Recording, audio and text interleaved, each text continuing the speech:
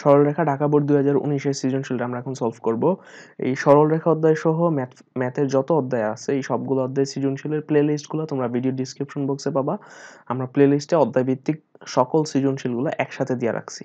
So এই video description box থেকে তুমি যে কোনো অধ্যায়ের প্লে লিস্টে চলে যেতে পারবা। ওই অধ্যায়ের সবগুলো অঙ্ক, সৃজনশীল অঙ্ক, বিগত বছরের বোর্ডে আসা খুব সহজে খুঁজে পাবা। সো আমরা এখন সলভ করব ঢাকা বোর্ড দু হাজার উনিশ সালের যে সৃজনশীলটা আসছে, সরলরেখা অধ্যায়ের। এখানে বলা হয়েছে পি বিন্দুর, কনং প্রশ্নে পি বিন্দুর পোলার স্থানাঙ্ক নির্ণয় করো। পি বিন্দুর স্থানাঙ্ক দিছে three comma root three. P বিন্দুর স্থানাঙ্ক বলা হয়েছে থ্রি কমা রুট থ্রি। তার মানে এখানে এক্স ইকুয়াল টু থ্রি আর ওয়াই ইকুয়াল টু হচ্ছে রুট থ্রি। তো আমরা ধরলাম পি বিন্দুর পোলার স্থানাঙ্ক আর থিটা। আমরা জানি আর ইকুয়াল টু কত? Root over X square plus Y square. তাহলে root over three square plus root three square. Three square হচ্ছে নাইন আর রুট থ্রি স্কোয়ার রুটে কাটা গেল হচ্ছে থ্রি তাহলে রুট ওভার টুয়েলভ এটা দাঁড়াচ্ছে হচ্ছে রুট ওভার টুয়েলভ সো এটাকে যদি আমরা একটু ভাঙাই, ভাঙাইলে পাবো হচ্ছে টু রুট থ্রি কারণ টুয়েলভ মানে root over four into three ফোরকে রুট করলে টু তাহলে two root three okay so আর এর মান নির্ণয়ের কাজ শেষ আর ইকুয়াল হচ্ছে টু রুট থ্রি আবার টেন থিতা সমান, আমরা জানি y by x y by x তাহলে থিটা সমান আমরা কি লিখতে পারি? থিটা ইকুয়াল হচ্ছে tan inverse y by x so theta সমান tan inverse y by x y এর মান কত? ওয়াই হচ্ছে রুট থ্রি আর এক্স হচ্ছে থ্রি সো আমরা যদি এটা ক্যালকুলেশন করি টেন ইনভার্স থ্রি মানে দুইটা রুট থ্রি একটা একটা কাটা, তাহলে one by root three tan inverse one by root three মানে one by root three tan কত ডিগ্রির মান? টেন সিক্সটি থার্টি ডিগ্রির পেল তাহলে থিটা সমান আমরা পাচ্ছি হচ্ছে থার্টি ডিগ্রি হুম? থিটা হচ্ছে থার্টি ডিগ্রি তাহলে হচ্ছে এই পি বিন্দুর আমরা স্থানাঙ্ক পাই গেলাম পোলার স্থানাঙ্ক আর থিটা অর্থাৎ টু রুট থ্রি আর এর মান, আর থিটার মান হচ্ছে থার্টি ডিগ্রি তাহলে এটা হচ্ছে পি বিন্দুর পোলার স্থানাঙ্ক। এটা হচ্ছে কি? পি বিন্দুর পোলার স্থানাঙ্ক। ওকে আমরা পরের প্রশ্নে যাই, খ নং প্রশ্ন। খ নং প্রশ্নে আমাদের বলছে A Q is to Q B সমান টু ইস টু থ্রি হলে, A Q is to Q B সমান টু ইস টু থ্রি হলে ত্রিভুজ পি কিউ বি এর ক্ষেত্রফল নির্ণয় করো পি কিউ বি এর। ওকে আমাকে এখানে কি জানতে চাইছে? আমার কাছে জানতে চাইছে পি কিউ বি ত্রিভুজের ক্ষেত্রফল। তো আমরা যদি এই ত্রিভুজের ক্ষেত্রফল বের করতে হয় আমাদেরকে, তাহলে এই তিনটা বিন্দুর স্থানাঙ্ক জানা থাকা লাগবে। পি বিন্দুর স্থানাঙ্ক কিউ বিন্দুর স্থানাঙ্ক আর বি বিন্দুর স্থানাঙ্ক। এই তিন বিন্দুর স্থানাঙ্ক আমার জানতে হবে। তো আমি এর ভিতরে পি বিন্দুরটা জানি। বি বিন্দুরটা জানি, কিউটা জানি না। সো আমরা কিউর বিন্দুর স্থানাঙ্কটা বের করি, তাহলে আমাদের পরের স্টেপ করতে সুবিধা হবে। সো আমরা কিউ বের করি। এখানে আমাদেরকে একটা তথ্য দিচ্ছে যে এ, ধরো এটা এ বিন্দু, এটা কিউ বিন্দু, এটা বি বিন্দু। এ বিন্দুর স্থানাঙ্ক আমার কাছে দেওয়া আছে থ্রি জিরো, বি বিন্দু হচ্ছে জিরো টু। বলা হচ্ছে যে কিউ বিন্দুটা টু ইস টু থ্রি অনুপাতে বিভক্ত হয়েছে। A Q Q B A Q Q B এটার ভ্যালু হচ্ছে টু ইস টু থ্রি এটা বলছে A Q into Q B A Q is to Q B হচ্ছে টু ইস টু থ্রি তো এখন আমরা কিউ বিন্দুর স্থানাঙ্কটা বের করতে হবে। কিউ বিন্দু এ আর বি এর মাঝে আছে, ঠিক আছে? তার মানে কিউ বিন্দু এ বিকে অন্তর্বিভক্ত করছে। তাহলে অন্তর্বিভক্তিকরণের সূত্র যদি অ্যাপ্লাই করি, এক্ষেত্রে এ বিন্দুর স্থানাঙ্ক হবে এক্স ওয়ান ওয়াই ওয়ান আর বি বিন্দুর স্থানাঙ্ক হবে এক্স টু ওয়াই টু আর এই যে অনুপাতটা দেওয়া আছে, এটা হবে m one is to m two তাহলে কিউ বিন্দুর স্থানাঙ্ক যদি বের করি ফর্মুলা কি হবে? M one x two plus m two x one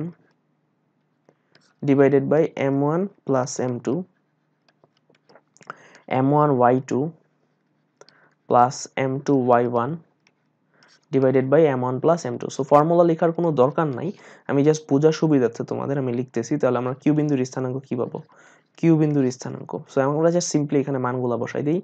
M one x two তাহলে two into zero plus m two x one m মান হচ্ছে থ্রি তাহলে three into x one three তাহলে three into three divided by m one plus m two two plus three আবার m one y two two into two plus m two y one three into zero divided by m plus m two so এইগুলো যদি calculation করি, কত পাবো? এখানে two into zero মানে zero তিন ত্রিকা নয়, আর নিচে দুই যোগ তিন পাঁচ, তাহলে নাইন বাই ফাইভ আর এখানে হবে দুই দোকানে চার, আর এই অংশটা তো জিরো হয়ে যাবে, তাহলে হচ্ছে four by five four by five so এই হচ্ছে কিউ বিন্দুর স্থানাঙ্ক ওকে কিউ বিন্দুর স্থানাঙ্ক হচ্ছে nine by five four by five তাহলে এখন আমি তো কিউ বিন্দুর স্থানাঙ্কও জানি। তাহলে এখন পি কিউ বি এর ক্ষেত্রফল তো খুব সহজেই বের করা যাবে।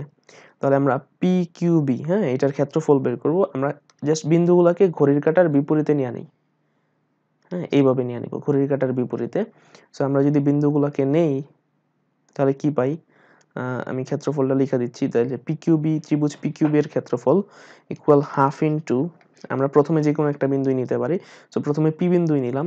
তাহলে থ্রি রুট থ্রি দেন হচ্ছে বি বিন্দুর স্থানাঙ্ক নিচ্ছি আমি গড়ির কাটার বিপরীতে যাইতে বি বিন্দুর স্থানাঙ্ক হচ্ছে জিরো কমা টু ফার্স্টে পি নিলাম, এবার আমি বিতে আসছি জিরো টু দেন হচ্ছে কিউতে আসলাম। কিউ বিন্দুর স্থানাঙ্ক কত? এই যে আমরা বের করছি nine by five four by five তাহলে nine by five four by five আবার কিন্তু পিতে আসতে হবে হ্যাঁ?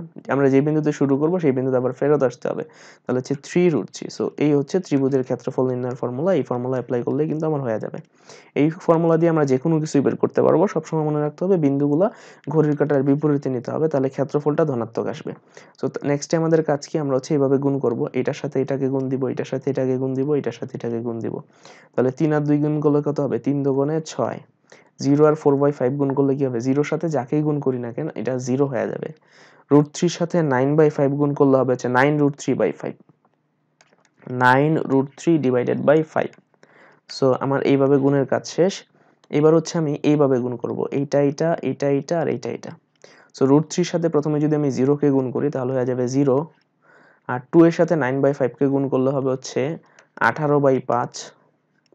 আর ফোর বাই ফাইভের সাথে থ্রি গুণ করলে হচ্ছে বারো বাই পাঁচ।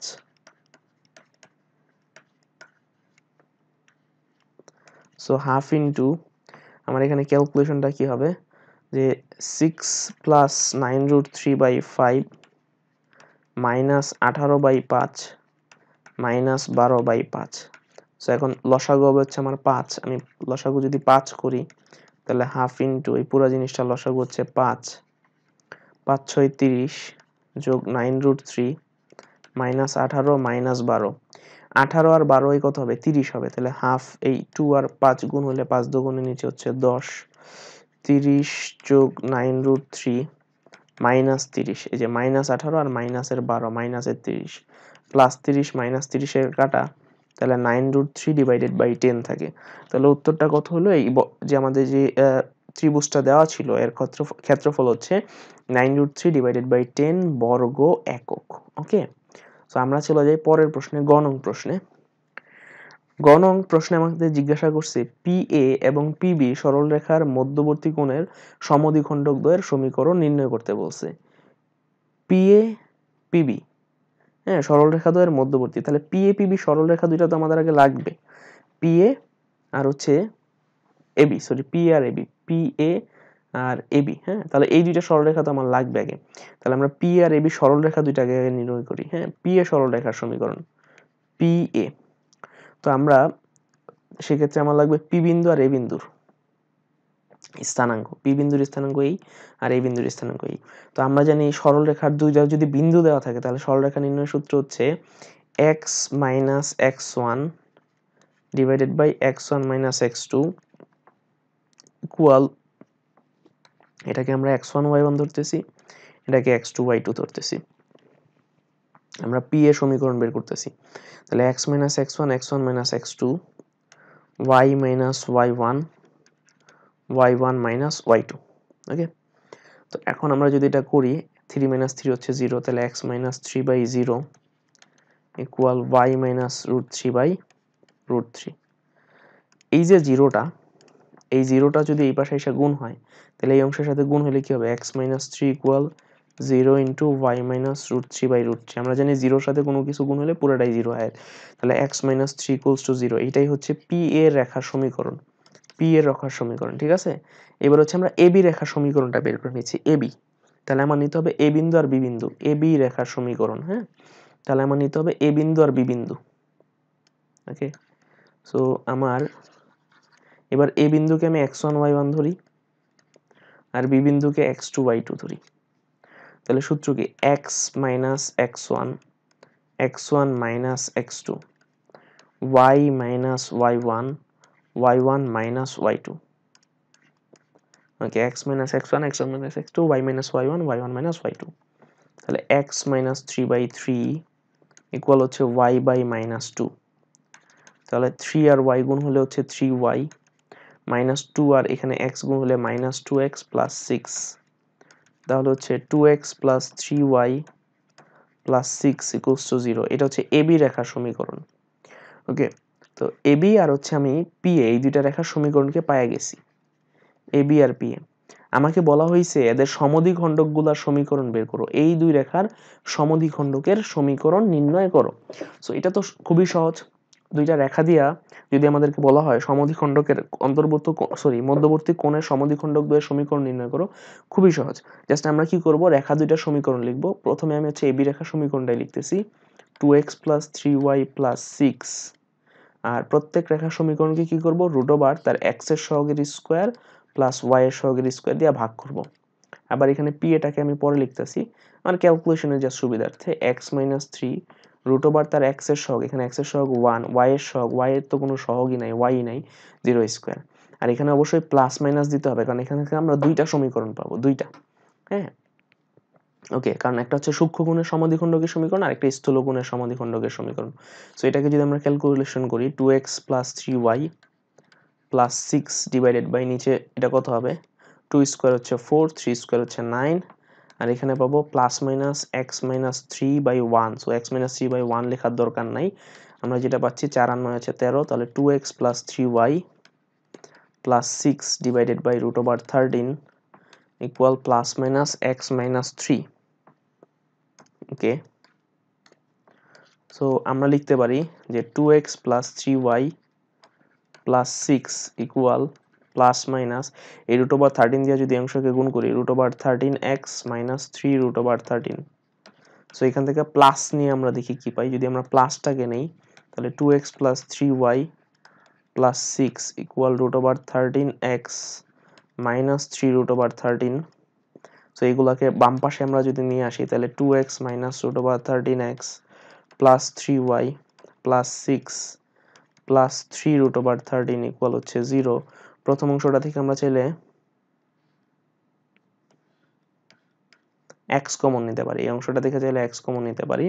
তাহলে এক্স কমন নিলে two minus root over thirteen into x plus three y plus six plus three root over thirteen equal হচ্ছে জিরো আর যদি আমরা মাইনাস নিয়ে কাজ করতাম মাইনাস নিয়ে পাই, এখান থেকে মাইনাসটা নিতাম, তাহলে two x plus three y plus six equal হইতো মাইনাস রুট ওভার তেরো x minus three root over তেরো সো এই পাশে চলে আসলে যেটা হবে two x plus three y plus six plus root over thirteen x minus three root over thirteen equal zero সুতরাং এটার থেকে আর এটার থেকে যদি এক্স কমন নেই, তাহলে two plus root over thirteen plus three y plus six minus three root over thirteen equal হচ্ছে zero so এইটা হচ্ছে একটা আর এইটা হচ্ছে একটা। P A R A B এই যে রেখা দুইটা ছিল P A R A B রেখাদ্বয়ের অন্তর্গত